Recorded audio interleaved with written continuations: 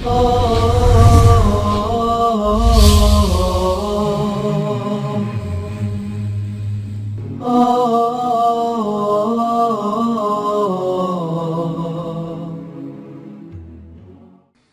you know that if you have bad qualities, most probably you got it from your peers, those you mixed with. Sometimes they might even be your family members, sometimes even your parents. So if you have a bad quality, you probably got it from somewhere, but you didn't get it from Allah, you got it from the devil. That devil came to you in the form of possibly, most probably, your friends and your peers. And sometimes this devil comes in the form of your best friend. May Allah protect us.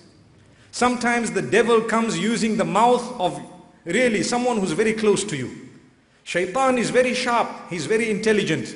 So sometimes the upbringing in the home is very, very good, but the school you send your child to, they learn an accent from that school which is totally unacceptable. They begin to speak slang. They begin to sway. They begin to cheat and steal. All that is from the school. We need to be careful which schools we send our children to. We need to be careful what type of friends our children mix with. And bigger than that, more important than that, how, what type of people we mix with ourselves. So Allah subhanahu wa ta'ala says in Surah Al-Furqan, regarding the one who did not have good company.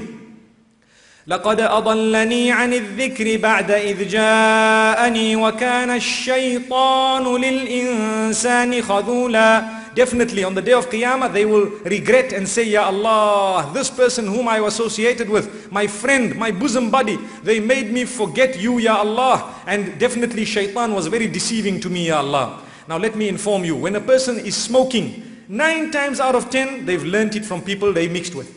When a person is on drugs, nine times out of ten, it is from people they associated with. When a person is an adulterer, nine times out of ten, they've learnt it from the company they have. When a person does not come for salah, nine times out of ten, it is because that is the trend around the people they mix with. When a person is an alcoholic, nine times out of ten, it is because those who are, whom the, he or she is with is also like that. When a person has a bad mouth, it's also the same. And that is why rehabilitation is a waste of time if you yourself do not want to help yourself.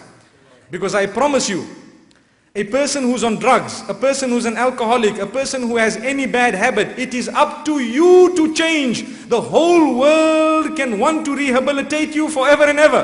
But if that quality is still in your heart, it is a waste of time and money for everybody to, to be worried about you. May Allah subhanahu wa ta'ala protect us. And this is why Allah says if you want to save yourself, the first thing you need to do, change your company totally, totally, every one of them, change them. If you are a bad person on drugs, cut out your whole friendship. And parents of those who are on drugs, let me inform you, extremely important, you might want to change the suburb and the city you are living in, in order to protect your son or your daughter. You might want to go into a remote town so that your children can abstain from those they mixed with. It will do you a ton of good. Even though your income might have decreased, you, you will save your children. That's the importance of the locality you live in, the importance of it and how serious it is. Your suburb, the area you live in, be careful, make sure you choose it properly. You rather live in a slum where the people around you all go to the masjid than to live in a palace where nobody talks about the house of Allah subhanahu wa ta'ala.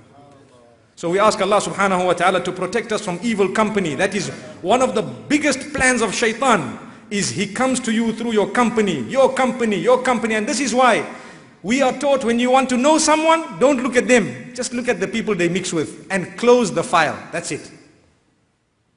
We say this normally regarding marriage. You want to know a boy, you want to know a girl. More important than asking them about themselves. Look at those they mix with. That's it. Close the file thereafter. If they are drunkards, they can turn green in their faces telling you, I've never drunk. They are lying. What are they doing with those? I've given an example and I want to repeat this example. When you see fish in the ocean, you will notice the whale moves with all other whales. You will notice the little bream move with other breams. The snook moves with snook. The hake moves with hake and so on. I'm using names of uh, fish we eat actually. Subhanallah.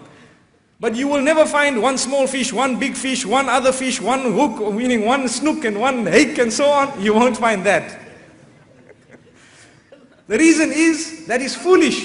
They have to have something in common to be moving together. The same applies to human beings. Someone who's pious and someone who's a drunkard, they can't move together. Really. It's like a sardine moving with a whale. Allahu Akbar. It can't happen. One will devour the other. Allahu Akbar. So this is why let them not fool you when they tell you, look, I'm not on drugs, but the 10 guys who I mix with, they're all on drugs. Tell him, you are the boss. You are the main one. Don't lie. May Allah subhanahu wa ta'ala protect our offspring. Remember those who are tested with drugs, it is up to you really to change yourself, no one else. You need to develop the willpower and you need to make a dua to Allah subhanahu wa ta'ala. May Allah subhanahu wa ta'ala protect our offspring from drugs. And may He protect our offspring from all these bad habits. Wallahi, there are good people who lose their children just because of their company. Allahu Akbar. There is so much we could utter about this because that is the root of shaitan's plan. And may Allah subhanahu wa ta'ala make us conscious of shaitan's plan.